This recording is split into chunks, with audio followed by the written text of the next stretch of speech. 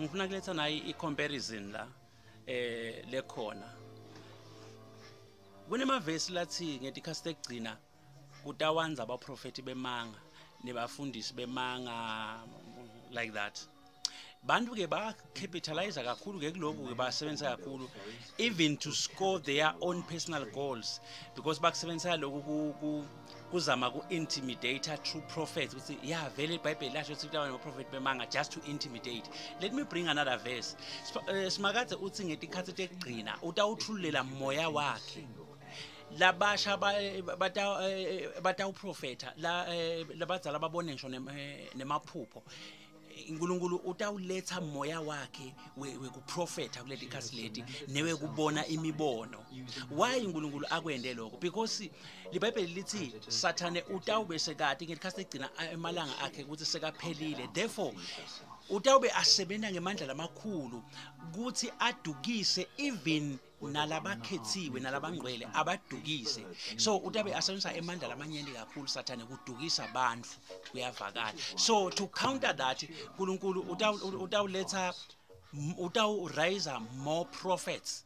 Eh nana naye to counter le le le the, satanic strategy. Sathane usebenza kakhulu uzama ukugwinya abantu abanyeni unkulunkulu uraise abantu abanyeni babe nale prophecy batombona sathane kuyavakala.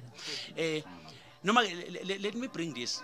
So kunalokuthi ke bantu batathi hey baprofeti bemanga baprofeti bemanga. First of all kuze kube namaprofeti bemanga ngilothi kunebaprofeti beliciniso. Ngeke babe khona abaprofeti bemanga kube kube kude abaprofeti beliciniso. Ngilokuthi kunale baprofeti beliciniso lele ba- benta ukuthi kubonakale ukuthi kunemaprofeti bemanga kuyavakala. Noma let me start like this. Ngeke kube khona emanga kude liqiniso. Kuze kube nemanga ngilokuthi kuneliciniso ngileli qiniso leli liveta lamanga ngileli qiniso leli lenta ukuthi kubonakale ukuthi kunemanga. Kube belingekho liciniso ngabe kude emanga kuyevakala. Ngiyacabanga ukuthi lokho it makes clear.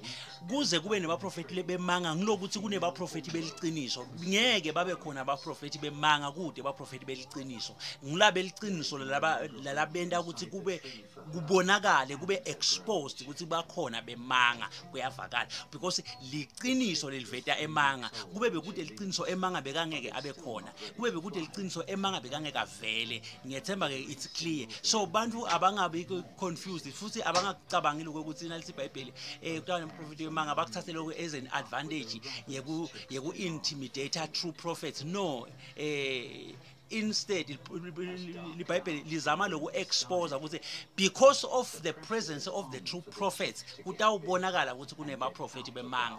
Kube beyangekho labaprofeti sibili the true prophets bekungeke kubonakale ukuthi kunemaprofeti bemanga noma ke baprofeti mbumbulu. Kuyavakala. Inkosi nibusise goodbye.